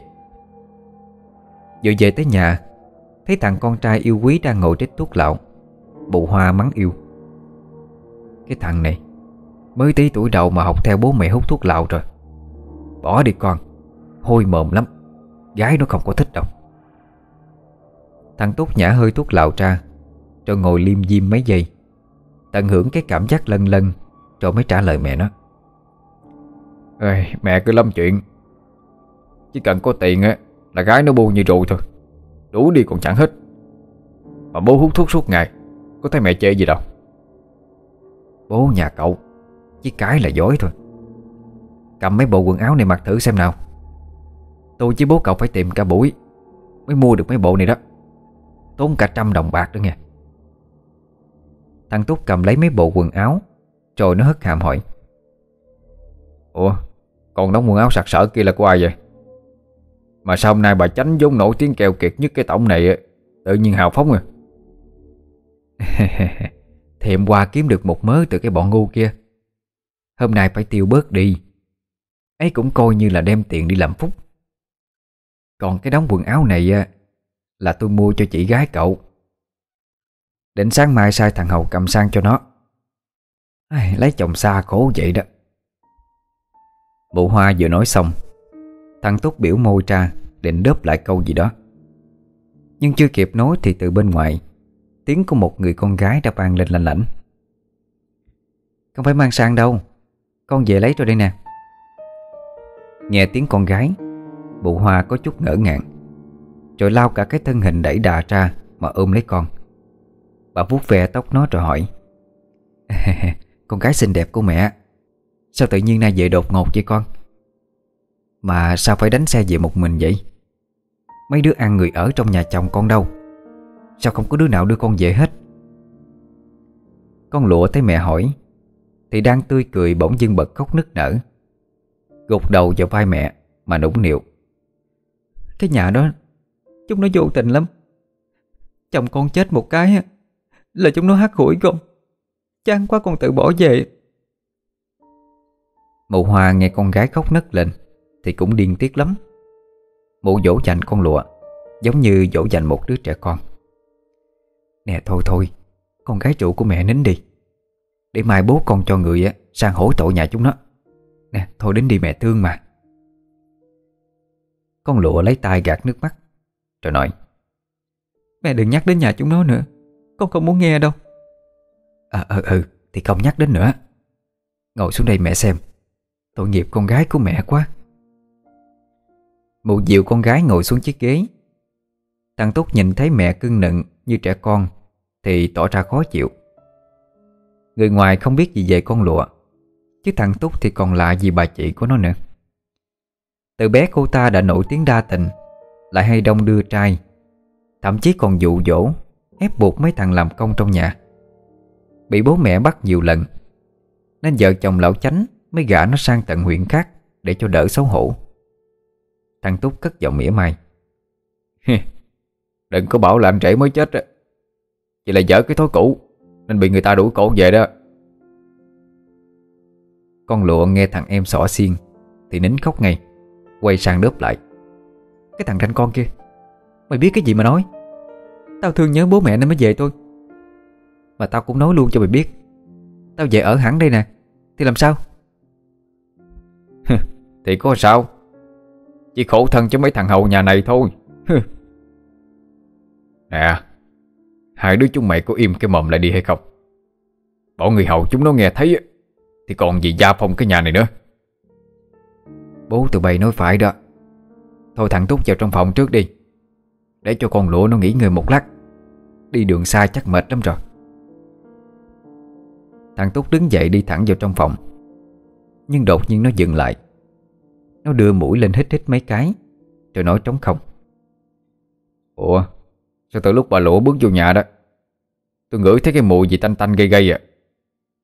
Hay là vừa nãy đi đường á, Bà dám phải thứ gì sao? Nghe thằng Túc nói thế con lụa chợt nhớ ra chuyện gì đó. Nó chạy thẳng ra ngoài cái xe ngựa ở ngoài sân Cầm theo cái hộp sơn mài khá đẹp Rồi đi vào trong nhà.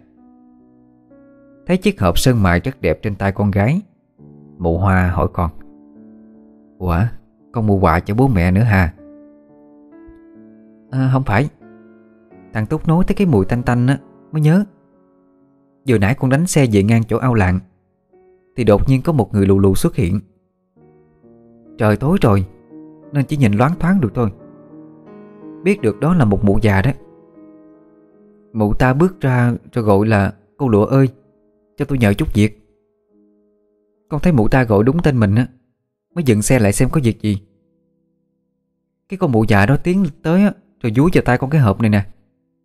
Con nói là, tôi định mang cái hộp đựng cao tinh tinh này Tới cho ông chánh, Thì mai quá gặp cô ở đây. Cô giúp tôi cầm về đưa tận tay cho ông chánh. Con thấy mụ già này hỗn láo quá. Dám chặn đường nhờ vả con gái của ông chánh nữa. Con mới bỏ cái hộp này xuống xe ngựa cho rảnh tay. Định túm lấy mà tác cho mụ ta mấy cái á. Nhưng mà vừa quay đi quay lại, Mụ già biến đi đâu mất dạng à.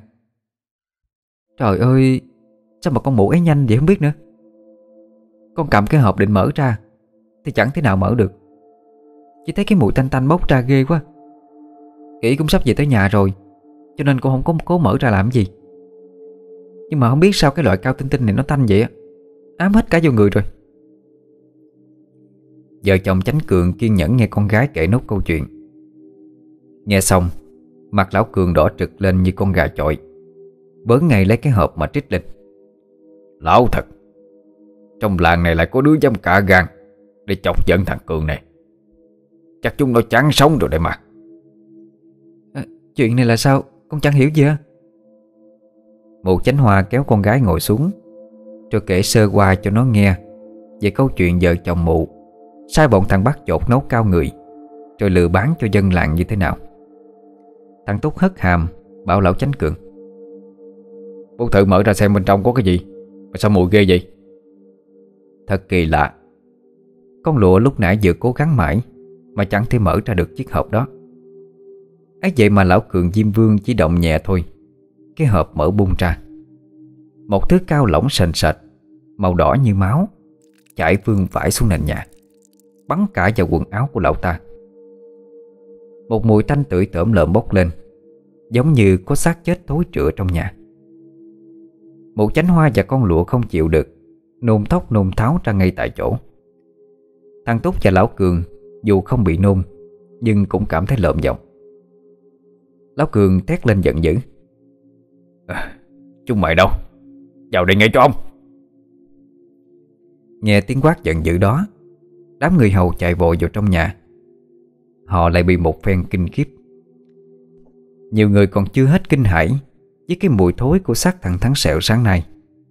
Bây giờ lại bị tra tấn bởi cái mùi tanh tổm lợm Của máu người Pha lẫn mùi xác thối bốc lên Từ cái thứ chất lỏng đang vương vãi trên sàn Lão Cường Diêm Vương Vừa lấy cái dẻ lao cái thứ chết tiệt ra khỏi quần áo Vừa quát tháo ầm lên. À, Chúng mày lau sạch hết cái thứ tổm lợm này đi cho ông. Không lau được á Thì ông bắt chúng mày lè lưỡi ra mà liếm đó. Người hầu nghe dọa như thế thì sợ lắm. Dù chưa biết cái thứ vương vãi trên sàn nhà là cái gì Nhưng chỉ mới ngửi thấy thôi Đã đủ làm cho họ buồn nôn. Đám người hầu chạy đi lấy vải quấn quanh mũi rồi chúi đầu xuống sàn Mà ra sức kỳ cọ lau chùi.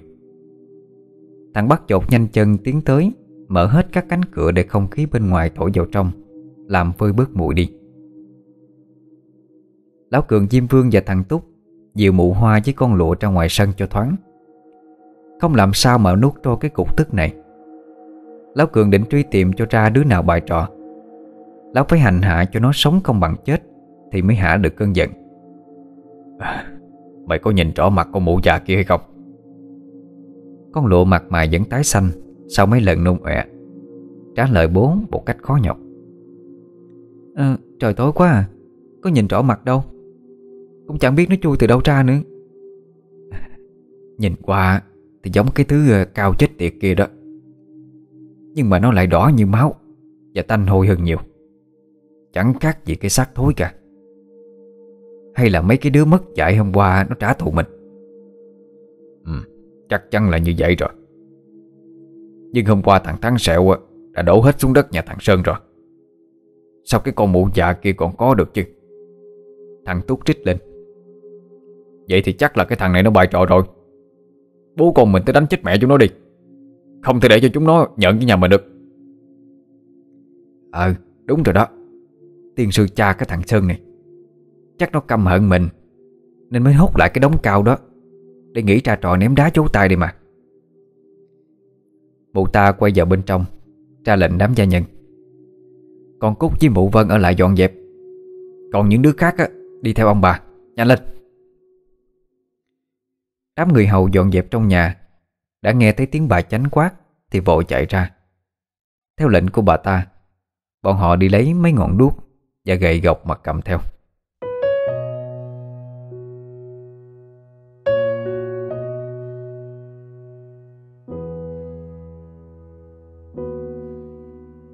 Mọi người vừa nghe xong tập thứ hai Của Nội Cao Người, Tác giả Gia Phúc. Xin chào tạm biệt. Hẹn gặp lại quý thính giả vào tối ngày mai Với tập 3 Cũng là tập kết thúc của bộ truyện nhé. Chúc quý thính giả một đêm ngon giấc.